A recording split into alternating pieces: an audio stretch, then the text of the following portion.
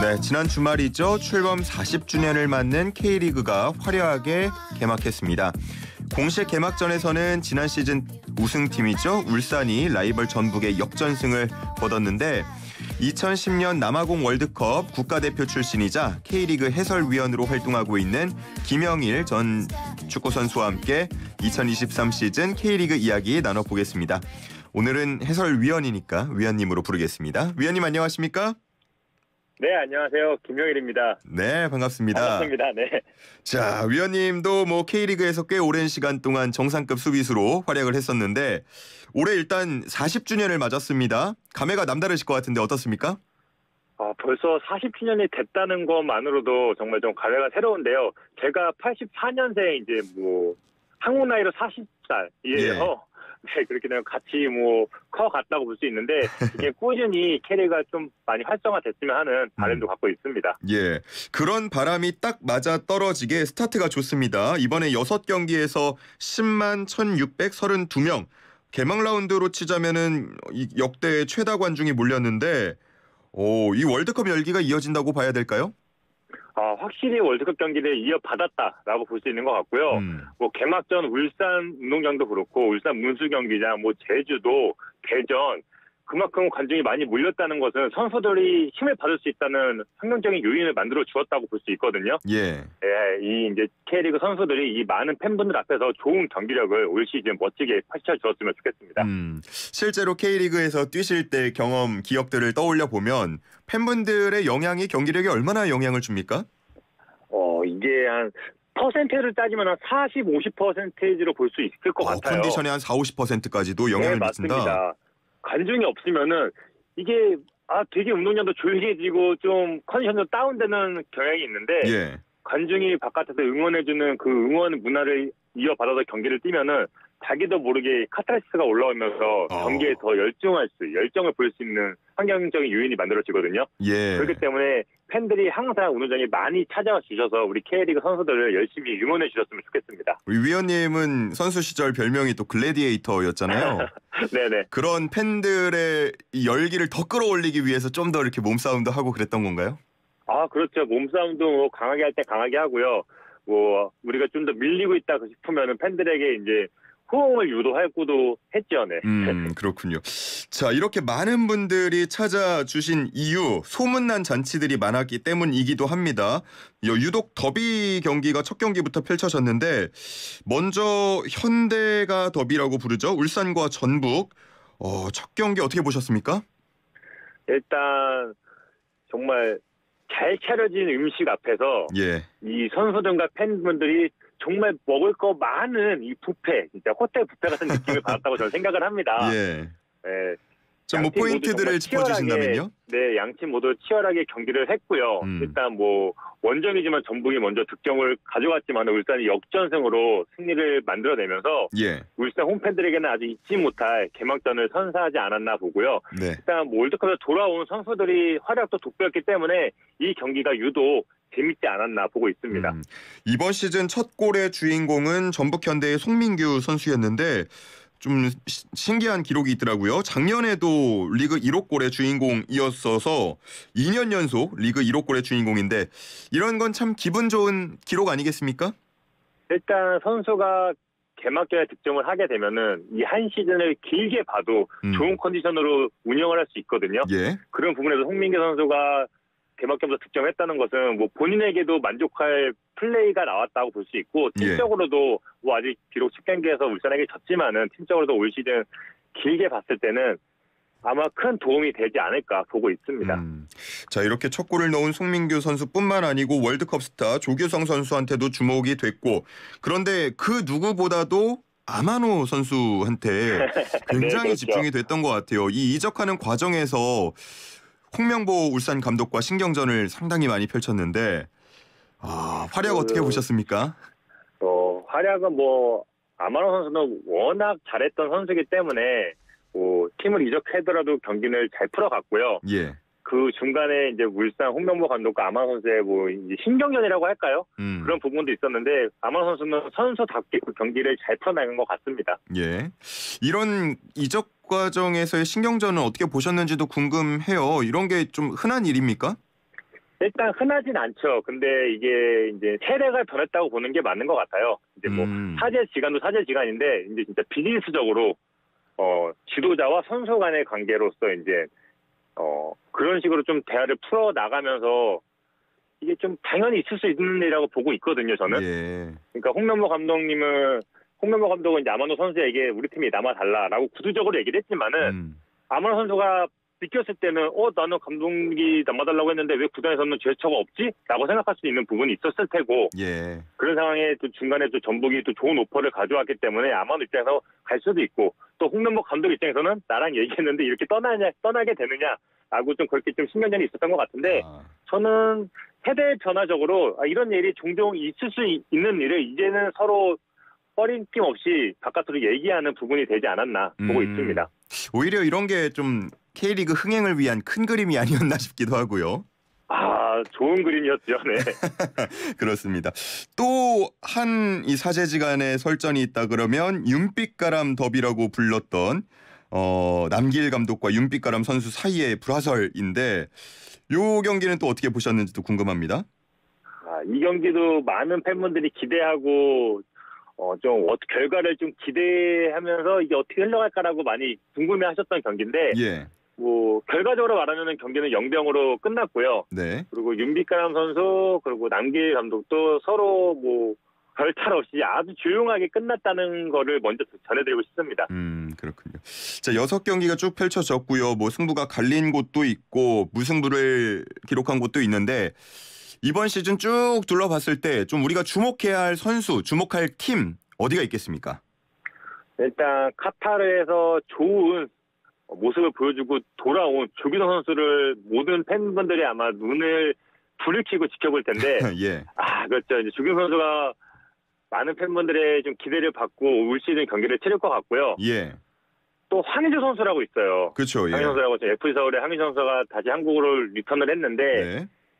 월드컵 가기 전에 대한민국 최전방 부동의 스트라이커는 황희조 선수였는데 예. 이게 월드컵 가나전 2차전을 치르고 나서 주요 선수로 바뀌었단 말이에요. 자 이런 부분에서는 황희조 선수도 아마 이를 갈고 있을 겁니다. 예. 그렇기 때문에 이 두 선수의 이제 득점 본능 이 대결도 아마 흥미진진하게 이어가지 않을까 보고 있습니다. 조규성 선수가 이 월드컵의 기세를 쭉 이어가려고 한다면 이번 시즌에 네. 몇골 정도는 넣어야겠습니까? 아 그 몇 골 정도를 한 20골은 한 넣어주고 이제 20 팀이 골이요? 좋으니까 또 주위 네 주위에서 또 받쳐준다면은 이야. 또 좋은 성적을 내지 않을까 싶고요. 예. 그리고 또 이제 조기성 선수는 목표가 K리그보다 이제 유럽 진출을 목표로 하고 있기 때문에 네.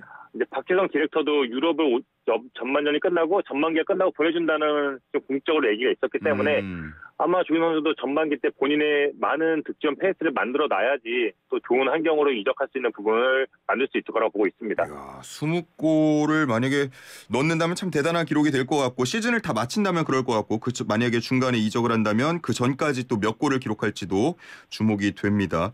황의조 선수는 어, 황의조 선수에게 주문은 매 경기 골을 넣어달라는 주문이 들어갔는데 일단 첫 경기에는 네. 골은 없었던 것 같아요. 그렇지만 뭐 티모리에서 이제 희생하고 본인이 대한민국에서 보여줘야지 다시 외국을 나갈 수 있다는 그 간절함이 보였다고 저는 보여지거든요. 예. 그런 그런 부분에 있어서는 아마 합격점을 주는 게 맞는 것 같습니다. 음, 합격점이다. 더 지켜보자라는 네. 말씀이시고 혹시 이렇게 루키나 아니면은 새로 영입된 뭐 외국인 선수나 이런 선수들 중에서는 좀 눈에 띄는 선수가 있었습니까? 어, 저는 항상 늘 얘기했던 선수인데요. 강원의 양현준 선수라고 있어요. 예. 이 선수가 정말 성실하게 하고 정말 센스 있는 최전방에서 흔들어줄 수 있는 선수인데 네.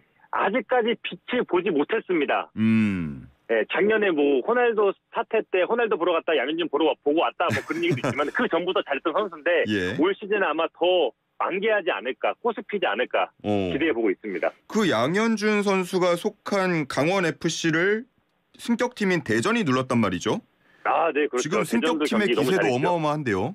네, 그래서 뭐 대전이 아 올라와서 좀 저는 물음표였거든요. 예. 근데 이 경기를 보면서 아 정말 이 선수들의 간절함이 운동장에서 보여지는 퍼포먼스가 대단하구나라는 음. 걸 느꼈습니다. 어떻게 시즌 초에 반짝 이 활약으로 봐야겠습니까? 아니면 승격팀의 기세가 조금 더 이어지겠습니까? 아 저는 대전은 기세가 쭉 이어질 거라고 조심스럽게 예상해 보겠습니다. 아, 좀 탄탄하던가요, 보니까? 너무 탄탄하던데요. 예상 외로 진짜 너무 탄탄합니다. 네. 어, 뭐 구체적으로 집어주, 짚어주신다면 어떤 부분이 그렇게 탄탄합니까? 일단 중원에 이제 중앙 수비에 조유민 선수가 팀을 잘 리드를 해주고요. 아, 국대죠. 중원 네 그렇습니다. 음. 그 중원에 이제 조세종 선수라고 있는데 예.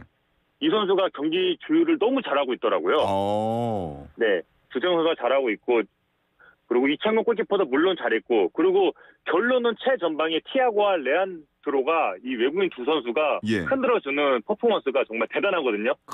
이렇게 되면은 뭐 골키퍼부터 최전방 외국인 선수까지 정말 어, 빈틈이 없다고 보는 게 맞는 것 같습니다. 예. 그래서 이번 시즌은 정말 최강자가 없다 뭐 이런 얘기도 나오는 것 같은데 그 말씀해주신 대전팀만 봐도 그렇고요. 외국인 선수 이름이 상당히 좀 많이 보여서 어 뭐가 좀 달라졌나 이런 분들 많거든요. 이번 시즌 달라진 점 소개를 좀 해주신다면요.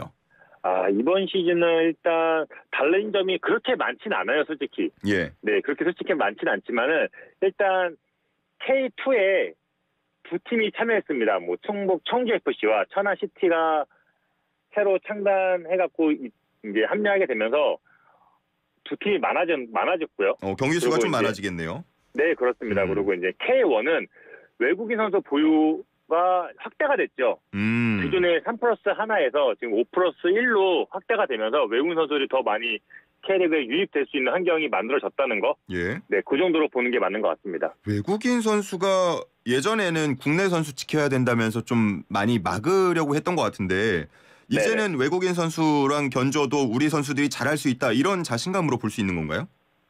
일단 또 그런 부분도 있고요. 또 경기장에는 또 좋은 퍼포먼스, 좋은 경기를 보여줘야지 또 많은 팬분들이 찾아오기 때문에 음. 뭐 외국인이 그리고 뭐 한국인이 누가 뛰어야 된다기보다 좀 좋은 경기를 할 수 있는 선수가 많이 경기장에 유입돼야지 또 K리그 팬분들이 많아진다라는 좀 그런 생각으로 갖고선 이번에 좀 늘린 것 같습니다. 네. 아, 국내 선수든 외국 선수든 누구든 잘하는 선수 와서 멋진 경기 보여줘라 이런 의도로 아, 보면 그렇죠. 되겠죠? 네네. 알겠습니다. 자 그러면은 이제 뭐 해설위원님께 좀 어려운 곤혹스러운 질문이 될 수도 있겠는데 올 시즌 우승 구도 어떻게 보십니까? 올 시즌도 뭐 지난 시즌과 마찬가지로 울산 현대, 전북 현대 2강으로 가지 아. 않을까 생각을 하고요. 예. 제가 개막전을 봤을 때 어, 저는 개막전이 솔직히 뚜껑이 열리기 전에 전북 현대가 그래도 다시 올라서지 않을까라고 생각을 했는데 어. 개막전을 보고 나서 살짝 울산으로 기울어진 것은 사실입니다. 아, 울산이 네. 그래도 꼽자면은 이- 조금 더 높을 것이다. 네, 그렇습니다. 그래도 이 K리그는 정말 뚜껑을 열어보고 끝날 때까지 봐야 되는 또 리그기 때문에 아 이거는 솔직히 지금 당장 울산이 우승할 것 같다, 전북이 우승할 것 같다는 솔직히 어려울 것 같네요. 네. 예. 아마 K리그 매주 지켜보지 않는 분들께 물어도 올 시즌 누가 우승할 것 같아 그러면 전북이나 울산 중에 하나 이렇게 답할 것 같은데 그렇죠. 네. 혹시 그 둘을 조금 위협할 수 있는 팀이 있다면 누가 있겠습니까? 저는 아, 네, 저는 위협할 수 있는 팀을 좀 생각을 해봤는데요. 네. 아까 얘기했듯이 대전도 그럴 수 있을 것 같고요. 어, 대전이요. 네, 승격팀. 대전도 진짜 올 시즌은 정말 EPL의 레스터 시티처럼 한번 돌풍을 일으킬 수 있을 것 같고요. 예. 또 한 팀은 포항의 기동 타격대라고 김기동 감독이 이끄는 포항 아. 플러스를 뽑을 수 있겠습니다. 약간 그 선수 시절의 소속감이 아직 남아 있는 거 아니신가요? 아, 그건 아니고요. 가장 오래 뛰었던 팀인 걸로 알고 그 있는데. 포항의 김기동 감독을 제가 선수 시절부터 같이 해가지고 지금 계속 봐오고 있는데 예. 특출난 선수가 팀에 솔직히 없어요. 그러나 이 선수들을 하나로 모아가지고 이 팀을 특출나게 만드는 능력을 갖고 있는 감독이거든요. 음. 그런 부분에 있어서 올 시즌 포항을 좀 더 지켜보면은 또 K리그 팬분들이 많이 즐거워하는 포인트를 찾을 수 있을 것입니다. 예. 이번 시즌 앞두고도 포항에서 주요 선수들이 좀 빠져나가면서 걱정을 했는데 첫 경기는 이겼죠? 네, 대구를 상대로 3대2 역전승을 거뒀는데 아 경기 정말 재밌더라고요. 자, 이렇게 힘차게 아주 재미난 볼거리를 선사하면서 K리그가 출발을 했습니다. 자, 이제 9개월간의 대장정을 펼치게 될 텐데 K리그 후배들에게도 또 팬들에게도 한마디를 해주신다면요? 일단 K리그 후배들에게는 지금 많은 관중들이 경기장에 유입됐잖아요. 예. 결론은 선수들이 좋은 경기력을 펼쳐줘야지만이 음. 이 팬들이 나가지 않습니다. 음. 더더 들어오게 만들어야 되는 거는 우리 선수들이라고 보고 있기 때문에 선수들이 경기장에서 120%의 최선을 다하는 모습을 보여줬으면 좋겠고 K리그 팬분들도 그 재밌는 경기를 보고 진짜 옆에 친구 손 한 명 잡고 한 명씩 더 찾아준다면은 또 좋은 한결이 되지 않을까 그렇게 보고 있습니다. 네, 좋습니다. 자, 첫 경기 개막 라운드 최다 관중을 기록하면서 출발을 했습니다. 시즌이 끝날 때에도 역대 총 통산 최다 관중이 될 수 있도록 우리 선수들, 팬들 모두 힘써 주시면 감사하겠습니다. 우리 위원님도 해설위원님도 해설 잘 부탁드리고요. 네, 감사합니다. 네, 여기까지 듣겠습니다. 고맙습니다. 고맙습니다. 지금까지 김형일 K리그 해설위원과 함께했습니다.